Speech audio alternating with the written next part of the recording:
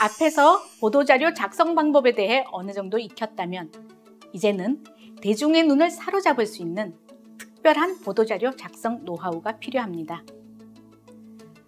하지만 보도자료에 대한 기초적인 이해도 되지 않은 상태에서 눈을 사로잡는 방법에만 초점을 맞춘다면 오히려 보도자료에 대한 기본을 놓칠 수 있습니다.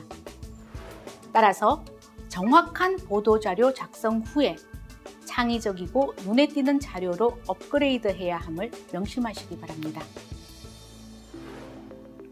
그럼 지금부터 대중의 눈을 사로잡을 특별한 보도자료 작성 노하우로는 어떠한 것들이 있는지 살펴볼까요? 첫째, 보도자료에서 질문 답변을 사용하면 복잡한 내용을 쉽게 전달할 수 있습니다. 질문과 답변은 일반 독자들에게는 물론 보도자료를 받아보는 언론인이 기사를 작성하는 데 도움을 줍니다. 따라서 보도자료 본문을 읽고 독자가 가질 수 있는 의문점을 정리한 뒤 이에 대해 답변을 씁니다.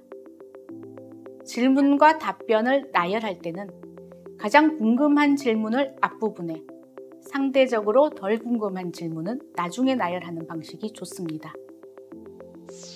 지금 화면에 보이는 보도자료 예시문은 연구 이야기라는 코너를 통해서 질문과 답변을 간략하게 잘 작성해 놓았습니다.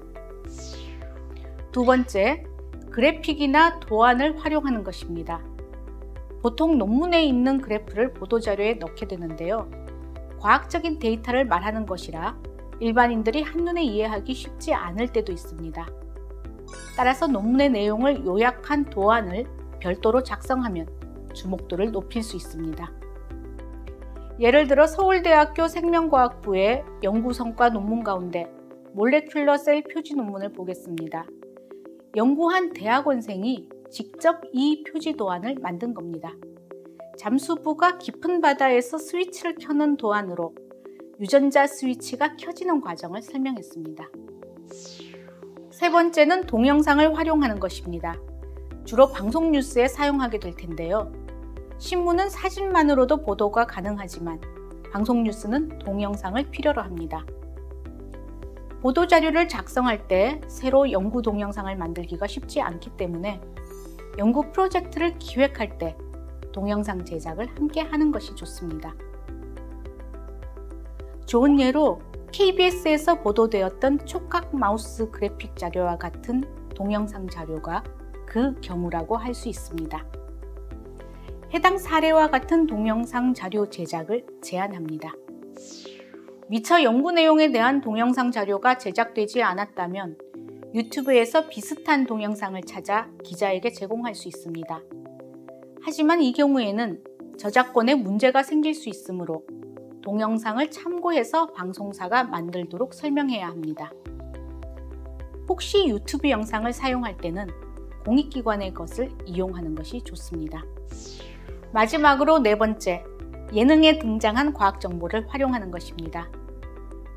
최근에는 예능 프로그램에 과학을 접목하는 사례가 늘어나고 있습니다. 따라서 이런 방식으로 좀 더 친숙하게 과학 내용을 전달할 수 있음을 참고하시기 바랍니다.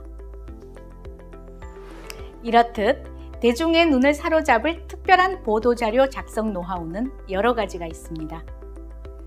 하지만 앞서 언급한 것처럼 이러한 노하우들은 정확한 보도자료 작성을 전제로 업그레이드 시켜야 함을 반드시 명심하시기 바랍니다.